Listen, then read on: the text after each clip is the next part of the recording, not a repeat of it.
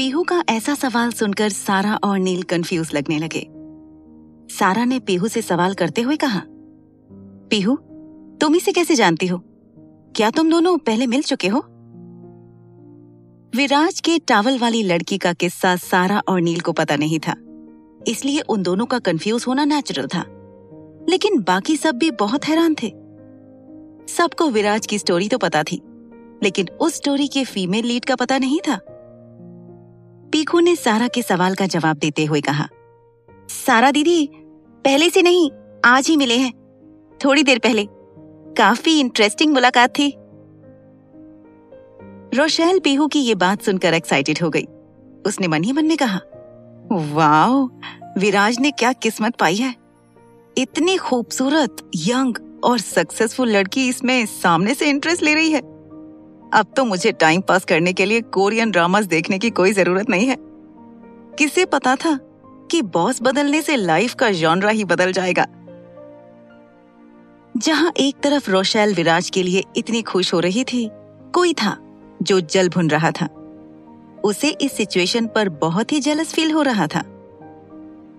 उसने विराज की तरफ़ देखते हुए दिल ही दिल में कहा, इसके पास ना मेरे जैसे ब्रांडेड सूट्स हैं। और ना ही कोई हैंडसम लुक्स फिर भी इसने भी किसी को पटा लिया है।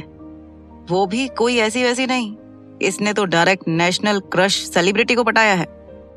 अब तक विनी के साथ मेरी एक डेट भी नहीं हुई है। पीहू की बात सुनने के बाद सबकी नज़रें विराज की तरफ़ घूम गई। बेचारा विराज ऑकवर्ड सिचुएशन में फंस गया था। उसने अपनी बॉस सारा को एक्सप्लेन करते हुए कहा, सारा मैम, वो बस अचानक से मिले थे।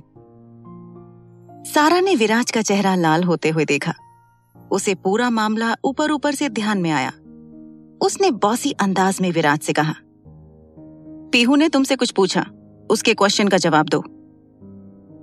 अब जब उसकी सारा मैम ने उससे कहा था, विराज के पास कोई दूसरा ऑप्शन नहीं बचा। उसने पीहू की तरफ़ देखकर कहा, मैं Viraj Dixit nice to meet you Viraj ने फॉर्मेलिटी के तौर पर कह तो दिया था। लेकिन उसके चेहरे को देखकर ऐसा बिल्कुल भी नहीं लग रहा था कि उसे पेहू से मिलकर खुशी हुई थी। कुछ देर सारा से बात करने के बाद पेहू ने सबके साथ डिनर भी किया। वापस जाते वक्त उसने सारा से उसका कांटेक्ट नंबर भी मांग लिया। सारा को पेहू से मिलकर इतनी खुशी हुई कि उसने तुरंत ही पेहू के साथ रोहन, रोशेल और विराज का चैट ग्रुप भी बना लिया। सारा को गुड बाय कहते हुए पेहू ने उससे कहा, दीदी आप मेरा कॉन्टेक्ट नंबर सेव करके रखना। किसी पता कब आपको मेरे हेल्प की ज़रूरत पड़ जाए। Good night wish to see you soon और फिर अपने हाथ वेव करते हुए पीहू अपनी मैनेजर के साथ वहाँ से चली गई। जाने से पहले उसने विराज को स्माइल के साथ एक फ्लाइंग किस भी दी। ये सब होते हुए देखकर सब विराज को चिढ़ाने लगे। सारा ने भी सबको वहाँ से निकलने को कहा। लेकिन इससे पहले कि सब अपने घर जाते, सारा ने उन्हें मैसेज करके एएस ग्रुप्स में मिलने को कहा। कार में बैठे हुए नील ने सारा से कहा, उर्वी मान ने मुझे सैटरडे को मिलने के लिए बुलाया है। वो कह रही थी कि वो मुझे तुम्हारे सीक्रेट्स बता सकती है। अब बताओ, कि तुम मुझे तुम्हारे सीक्रेट्स बताओगी कि मैं उससे पता करूँ? नील के बात करने में एक मस्ती भरा अंदाज था। सारा ने भी उसी स्टाइल में जवाब दिया। सारा ने नील से कहा, अब मैं बेचारी क्या कर सकती हूँ? पूछ लो जो पूछना चाहते हो। क्या मेरे पास कोई दूसरा ऑप्शन है? सारा के ऐसे शब्द सुनकर नील हंसने लगा। बातें करते हुए वो दोनों कब एएस ग्रुप्स पहुँचे, उन्हें पता ही नहीं चला। कुछ ही देर में सब सारा के ऑफ़िस में थे। रोहन ने विराट से पूछा तुम उस उर्बी और सारा के बीच के पंगे को कैसे जानते हो? पार्टी में इतनी देर एंजॉय करने के बाद अब सबको एक इम्पोर्टेंट इशू सॉल्व करना था। विराज ने रोहन के सवाल का जवाब देते हुए कहा, वो, मैं सारा मैम के कॉलेज में ही था और उर्वी मान मेरी और सारा मैम की सीनियर ही थी।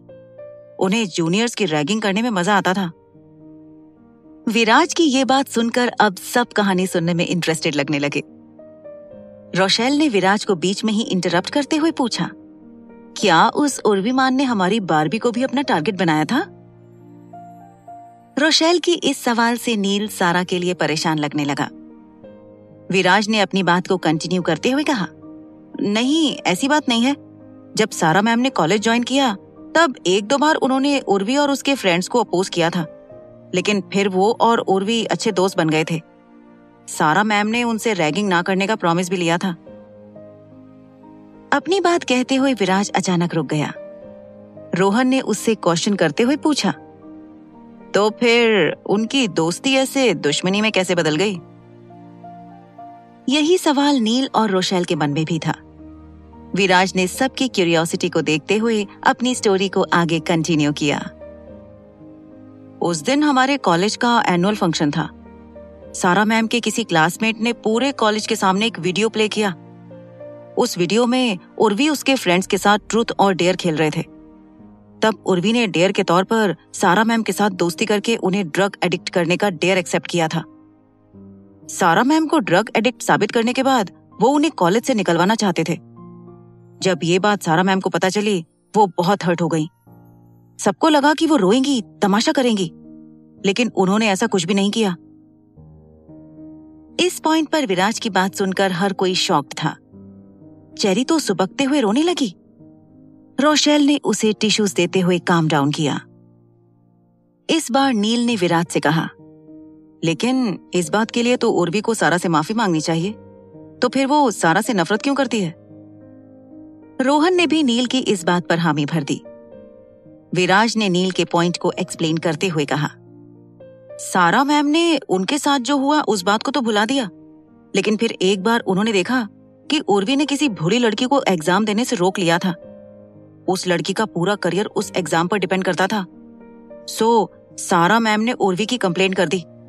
उन्होंने सभी पॉसिबल एविडेंसेस को कलेक्ट करके प्रिंसिपल को दिखा दिया और उसके बाद उर्वी को रस्टिकेट कर दिया गया। उस दिन के बाद हम में से किसी ने भी उर्वी को नहीं देखा। कुछ लोगों ने कहा कि वो अपनी डिग्री कंप्लीट करने के लिए अब्रॉड चली गई। बट उसकी तरफ़ से कोई खबर नहीं थी। और आज तीन सालों के बाद हमने उसे मिस्टर मान की बेटी की हैसियत से देखा। ये बात सुनकर सभी का मुँह खुला का खुला रह गया। सारा के ऐसे एडवेंचरस पास्ट को किसी ने एक्सपेक्ट नहीं किया था। रोशेल ने शॉक्ड होकर कहा क्या ये सच में किसी फ़िल्म की कहानी है? लाइक like, लिटरली दो दुश्मन इस तरह सामने आए हैं। ऑफ़ कोर्स वो उर्वी सारा को बर्बाद करने के लिए बेचैन होगी। रोशेल जब अपनी बात कह रही थी, सारा अपने ऑफ़िस में आई। वो कंफर्टेबली कुछ सोचना चाहती थी तो इसलिए वो चेंज करने गई थी। सबके शॉक्ड एक्सप्रेशन को देखकर सारा ने पूछा, कुछ हुआ है क्या? ऐसा मुँह क्यों बना रखा है? रोहन ने जैसे ही सारा का ये सवाल सुना, उसने सारा के दोनों कंधों को पकड़ लिया। उसने ओवर रिएक्ट करते हुए सारा से कहा, क्या जब तुम्हें उस उर्वी का सच पता चला, तुम बहुत डर गई थी? आफ्टर ऑल वो तुम्हें ड्रग अडिक्ट बनाना चाहती थी. जब सारा ने रोहन की कही ये बात सुनी, उसे रियलाइज़ हुआ कि विराज ने उन्हें सब कुछ बता दिया होगा। सारा ने फिर अपने कंधे उचकाते हुए रोहन से कहा, उसमें डरने जैसा क्या था? हाँ मुझे थोड़ा बुरा लगा कि वो मुझे बेवकूफ़ बना रही थी। बट मैं ऐसी छोटी छोटी चीज़ों को माइंड नहीं करती। सारा की कही ये बात सुनकर सब दंग रह गए। रोशेल ने सारा को कॉम्प्लीमेंट करते हुए कहा, बारबी, तुम सिर्फ़ खूबसूरत और अकलमंद ही नहीं, बहुत ब्रेव भी हो। सारा को रोशेल का कॉम्प्लीमेंट बहुत एग्जैजरेटिंग लगा। उसने दिल ही दिल में कहा, अगर ये लोग इस बात के लिए इतना इमोशनल हो रहे हैं तो तब क्या होगा? जब इन्हें मलिक सरकार के बारे में पता चलेगा। अपने आप से ही बात करते हुए सारा ने चेरी की तरफ़ देखा। रो रो कर उसकी आँखें लाल हो गई थी। सारा ने उससे कहा, चेरी, इस बात में रोने जैसा कुछ भी नहीं है। बहुत लेट हो रहा है। एक काम करो, मेरे ड्राइवर से कहो वो तुम्हें घर ड्रॉप कर देगा. चेरी के वहाँ से जाने के बाद सारा सीरियस हो गई। उसने रोहन और बाकी सबसे कहा उर्वी की स्टोरी आप सब जानते हो। नाउ प्रॉब्लम यह है कि उर्वी मेरी वजह से एएस ग्रुप्स को अटैक करना चाहती है। हमारी कंपनी में शायद उसके साथ मिले हुए कई सारे लोग हो सकते हैं। अब हम सिर्फ़ अपने आप पर ही डिपेंड कर सकते हैं। सो so, अब हमें सब कुछ सोच समझकर प्लान करना होगा। और फिर सब सारा के साथ उनके आगे के प्लान्स पर डिस्कस करने लगे। बातें डिस्कस करते हुए एक घंटा कब बीत गया किसी को पता ही नहीं चला। सारा ने फिर अपने प्लान के नतीजे पर पहुँचते हुए कहा तो फिर ये तय रहा कि सैटरडे को जब नील उर्वी से मिलने जाएगा, हम रोजवुड रिजॉर्ट का एडवर्टाइजिंग कैंपेन लॉन्च कर देंगे. सारा के इस वेल ऑर्गेनाइज प्लान को सुनकर सभी सेटिस्फाइड लगने लगे। अपने सामने ही लगी वॉल क्लॉक को देखकर सारा घर जाने के लिए तैयार हो गई। उसने सबसे कहा, चलो निकलते हैं, हमें कल ऑफ़िस भी आना है। सारा की बात सुनकर सब अपने अपने घर जाने लगे। रोशैल ने रोहन से कहा, अब बहुत रात हो गई है तो मुझे घर तक ड्रॉप कर दो। रोहन ने रोशैल के बात पर हामी भर दी। उसने अपने सेल्फ लविंग अंदाज में कहा हाँ हाँ मेरे जैसा जेंटलमैन कभी किसी लेडी को मना नहीं करता।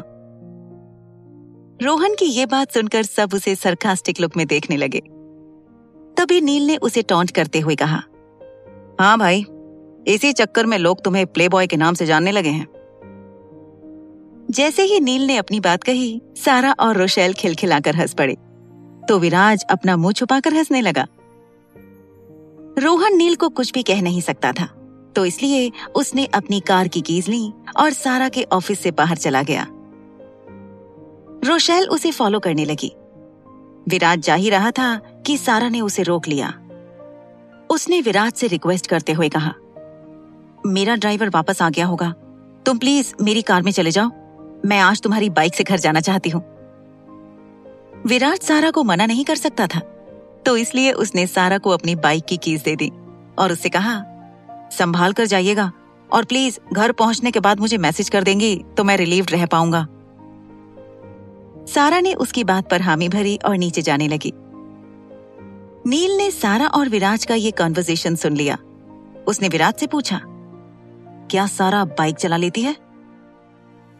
नील का ये सवाल सुनकर विराज को वो दिन याद आ गया, जब सारा ने पहली बार उसे पीछे बैठाकर बाइक चलाई थी। विराज ने नील को सारा का जवाब देते हुए कहा, चलाने का तो नहीं पता, भगा ज़रूर लेती हैं। और अपनी बात कहकर विराज जाकर सारा की कार में बैठ गया। नील को अभी भी सारा के लिए चिंता हो रही थी तो उसने सारा को फॉलो करने का फैसला किया। उसने अपनी कार का इंजन ऑन किया और सारा को फॉलो करने लगा। उसने अपने आप से ही बात करते हुए कहा, क्या इस लड़की को इतना कूल होने की कोई ज़रूरत है? 23 की एज में एक सक्सेसफुल बिज़नेस वुमन होना, हर परेशानी को चुटकियों में हल करना, डरावनी सिचुएशंस में भी नॉर्मल बिहेव करना और अब ये बाइक भी चलाना। ये लड़की ऐसी है तो इसके पेरेंट्स तो सुपर कूल होंगे। इसी तरह अपने आप से बातें करते हुए नील ने सारा को फॉलो किया। जब उसे तसल्ली हुई कि सारा सेफली अपने घर पहुँच गई थी, तब जाकर वो होटल जाने के लिए मुड़ा। मुंबई शहर में किसी बंदरगाह पर। करीम ने किसी के सिर पर बंदूक तान कर रखी थी। उसे बस मलिक सरकार से एक इशारा मिलने की देर थी और छह की छह गोलियाँ उस आदमी के सिर के अंदर होती। मलिक सरकार ने अपने किसी दूसरे आदमी से कहा, जॉन को यहाँ लेकर आओ। कुछ ही मिनटों में वो आदमी जॉन को वहाँ लेकर आ गया। जॉन किसी व्हील चेयर पर बैठा हुआ था। उसकी आँखों में डर साफ़ नज़र आ रहा था। मलिक सरकार ने जॉन की तरफ़ देखकर उससे सवाल किया, क्या ये वही है जिसने तुम्हें अगवा किया था? मलिक सरकार का ऐसा सवाल सुनकर जॉन उस आदमी को ध्यान से देखने लगा। कुछ याद करने के बाद उसने हिचकिचाते हुए कहा हाँ वो, ये, उन्हीं लोगों में से एक है। उसका ये जवाब सुनने के बाद मलिक सरकार ने उस आदमी की तरफ़ गुस्से में देखा। उन्होंने उससे पूछा, क्या तुम कुछ कहने वाले हो या तुम्हारी जान लेनी है? वो आदमी बहुत डरा हुआ लग रहा था। उसने अपनी जान की भीख मांगते हुए कहा, मैं कुछ नहीं जानता, लेकिन बस इतना पता है कि इस मिशन के लिए बॉस को बहुत सारे पैसे मिले थे। मुझे छोड़ दो। मैंने कुछ नहीं किया। मलिक सरकार को झूठ से बेहद नफरत थी। उन्होंने उस आदमी की आँखों में झूठ की झलक देख ली थी। उन्होंने करीम से कहा, इसके पैरों में पत्थर बांधो और इसे पानी में फेंक दो। ये मलिक सरकार के लोगों की जान लेने के तरीकों में से एक था। अपनी बात कहकर वो उस बंदरगाह से कहीं दूर जाने लगे। उसका कोई आदमी जॉन को अपने साथ ले गया। और करीम ने वैसा ही किया, जैसा मलिक सरकार ने उससे कहा था। उसने बोट शुरू की और इस आदमी के पैरों में रस्सी से पत्थर बांधने लगा। कुछ दूर जाने के बाद करीम ने बोट को रोक दिया और उस आदमी को पानी में फेंक दिया। उसे पानी में डूबते हुए देखकर करीम ने कहा, अगर तेरी किस्मत और तेरा इल्म अच्छा होएगा ना तो मैं दुआ करता है कि तू बच जाए। अगले दिन हमेशा की तरह अखबार, सोशल मीडिया और न्यूज़ चैनल्स पर सारा और नील ही छाए हुए थे। और अब तो सारा और नील की पॉपुलैरिटी पहले से और भी बढ़ गई थी। यंगस्टर्स उनके कपल को काफ़ी पसंद करने लगे थे। ऊपर से सारा और नील की पीहू के साथ की एक पिक्चर भी सोशल मीडिया पर वायरल हो रही थी। उस पिक्चर में वो तीनों गप्पे लड़ाते हुए नज़र आ रहे थे और बहुत खुश भी लग रहे थे। उस पिक्चर को बहुत सारे कमेंट्स और लाइक्स मिल रहे थे। लोगों ने कमेंट करते हुए लिखा था, क्या हमारी सुपरस्टार पीहू भी सारा और नील की फ़ैन है? तो किसी ने लिखा, नहीं नहीं, मुझे लगता है कि सारा और नील पीहू के फैंस होंगे। ये डिस्कशन इंटरनेट पर धूम मचा रही थी। सारा और नील के कुछ फैंस ने अपना लॉजिक यूज़ किया और उन्होंने उस पिक्चर पर कमेंट करते हुए लिखा मुझे लगता है कि पीहू जायका इन रेस्टोरेंट की ब्रांड एम्बेसडर बनने वाली होगी। वैसे मुझे ये कोलैबोरेशन बहुत पसंद आएगी। बहुत से लोगों ने ऐसे कई सारे कमेंट्स किए थे। दूसरी तरफ़ एएस ग्रुप्स में, रोशेल जैसे ही ऑफ़िस आई, उसने अपने इंस्टाग्राम अकाउंट पर लॉगिन किया। वो इन सब कमेंट्स को एक एक करके पढ़ने लगी। जब रोशेल ने वो सब कमेंट्स पढ़े, उसकी आँखें चमकने लगी। रोशेल को वो पढ़कर एक नया आइडिया आया। उसने मन ही मन में कहा, अगर सच में पेहू जायका इनकी ब्रांड एम्बेसडर बन जाए तो हम एम कॉरपोरेशन की उस गंदी चाल को सही जवाब दे पाएँगे। रोशेल को जैसे ही ये आइडिया आया, वो सारा को कन्विंस करने के लिए बहाने सोचने लगी। तभी कोई रोशेल के ऑफ़िस में आया। रोशेल को अपने आप में ही इतना खोया हुआ देखकर रोहन को एक शरारत सूझी। वो दबे कदमों से रोशेल के पीछे गया। और ज़ोर से उसके कानों में चिल्लाया। रोहन की इस हरकत से रोशेल इतनी डर गई कि वो भी चिल्लाने लगी। वो जब अपनी चेयर से गिरने वाली थी, रोहन ने उसे संभाल लिया और वो रोशेल पर हंसने लगा। रोशेल ने अपने सीने को सहलाते हुए रोहन से कहा, ये क्या था? मैं कुछ देर पहले हार्ट अटैक से मरने वाली थी। रोहन ने फिर अपनी हँसी को कंट्रोल किया और रोशेल से माफ़ी मांगते हुए कहा, ओके, आई एम सॉरी। वैसे तुम किस बारे में सोच रही थी? कि मैं आ भी गया और तुम्हें पता भी नहीं चला? रोशेल ने जब रोहन का ये सवाल सुना, उसने अपना मोबाइल रोहन के सामने बढ़ा दिया। रोहन ने कंफ्यूज होकर जब वो पर्टिकुलर कमेंट पढ़ा, उसकी भी आँखें चमकने लगी। उसने रोशेल की तरफ़ मस्ती भरी नज़रों से देखा और उससे कहा, वैसे ये आइडिया बहुत अच्छा है। हम एक साथ पीहू की और सारा और नील की पॉपुलैरिटी को यूटिलाइज कर सकेंगे। रोशेल ने भी इस बात पर हामी भर दी और दोनों एक साथ बातें करने लगे। कुछ देर के बाद रोहन और रोशेल ने मिलकर सारा से इस बारे में बात करने का फैसला किया। सीईओ ऑफ़िस में।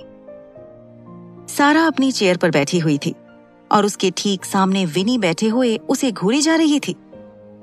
सारा ने कुछ सेकंड्स पहले ही कल रात पार्टी में हुई हर बात विनी को बताई थी और अब वो पेशेंस के साथ विनी के रिएक्शन का वेट कर रही थी। कुछ देर वेट करने के बाद भी विनी ने उससे कुछ नहीं कहा।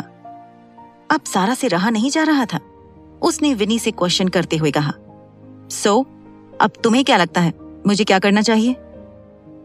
इस पॉइंट पर फाइनली विनी ने कुछ कहने के एफर्ट्स लिए। उसने सारा से कहा लुक अब वो तुझे और एएस ग्रुप्स को बर्बाद करने के लिए अपना हर पॉसिबल मूव करेगी। सो so, तुझे या तो उससे दो कदम आगे रहना चाहिए या फिर उसे सामने से चैलेंज करना चाहिए। विनी ने एक ही सेंटेंस में सारा की परेशानी हल करने का रास्ता दिखा दिया।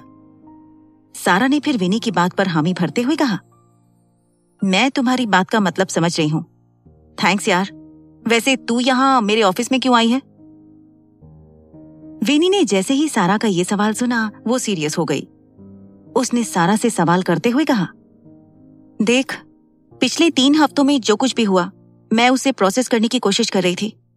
और एक बात मेरे ध्यान में आई नील एक बहुत ही काबिल और सक्सेसफुल बिजनेसमैन है। तो फिर तेरे मरहूम बॉस ने सब कुछ अपने बेटे के नाम क्यों नहीं किया? विनी के सवाल में लॉजिक था।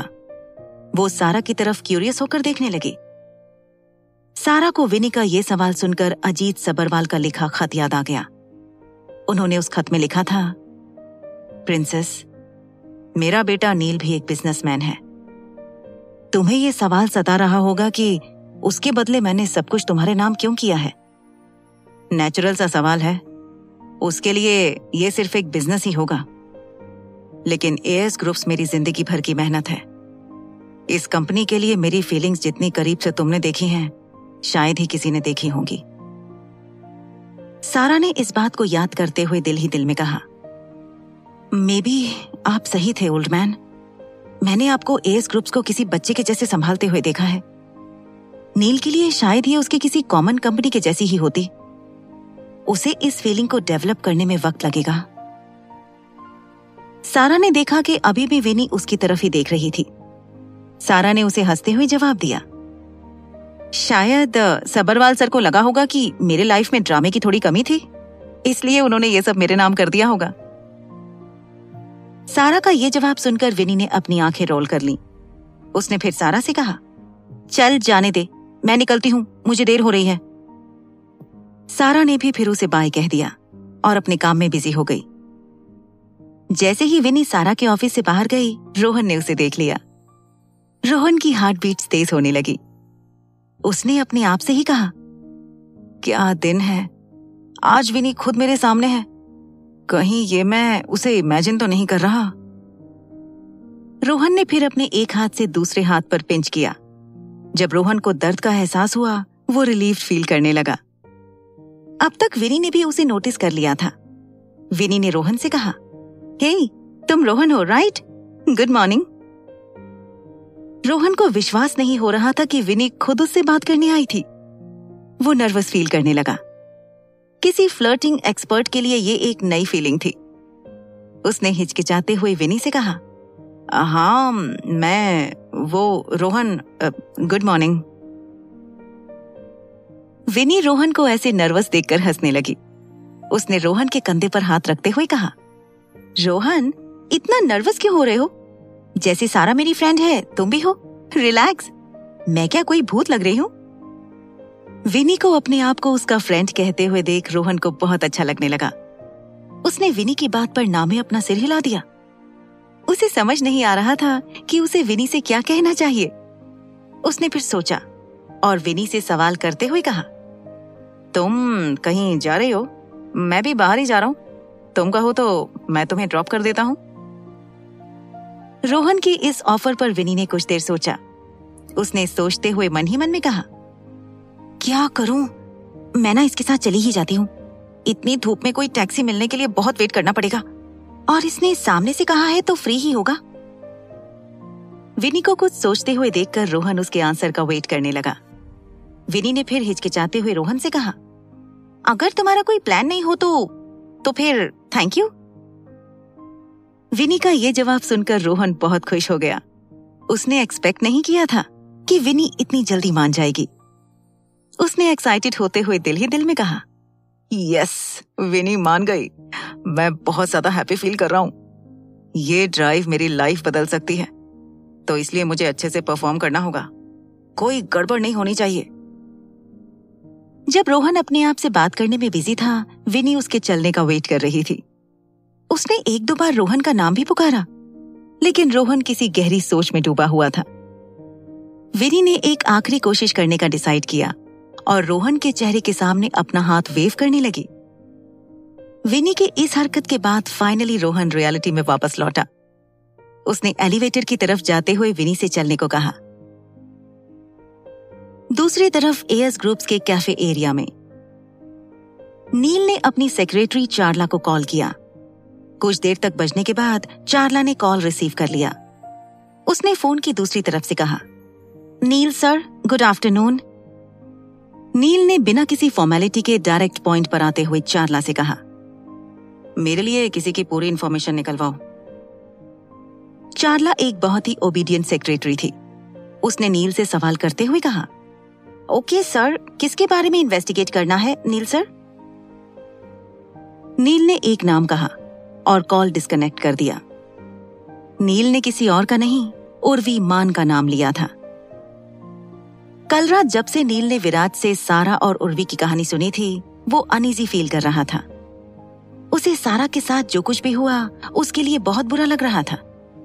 उसने दिल ही दिल में कहा, सारा यूजुअली बहुत स्ट्रांग होने का प्रिटेंड करती है। लेकिन सच तो यह है कि उसे अपने प्रॉब्लम्स को छुपाने की आदत है। अगर उसकी जगह किसी दूसरी लड़की के साथ ऐसा हुआ होता तो वो लड़की अब तक ट्रॉमा झेल चुकी होती। लेकिन सारा एक बहुत ही सॉर्टेड लड़की है। I adore her even more dad का एएस ग्रुप्स को उसके नाम करने का डिसीज़न बिल्कुल सही था। विल की मीटिंग के बाद नील रात भर एक ही बात सोचता रहा। उसे इस बात की बेचैनी हुई थी, क्योंकि उसे लगा कि उसके डैड ने उसे कंपनी संभालने के लायक भी नहीं समझा था। नील ने उस रात बहुत शराब पी थी। उसे किसी प्रॉपर्टी का लालच नहीं था, क्योंकि उसने अपनी मेहनत से बहुत कुछ कमाया था। लेकिन उसे इस बात का दुख था कि उसके डैड का उसके ऊपर ट्रस्ट नहीं था। नील को याद आया कि रोहन ने उसे समझाते हुए कुछ कहा था, जिसके बाद नील नॉर्मल हो गया था। रोहन ने नील से कहा था, पार्टनर, तुमने उनके साथ कितना टाइम स्पेंड किया है?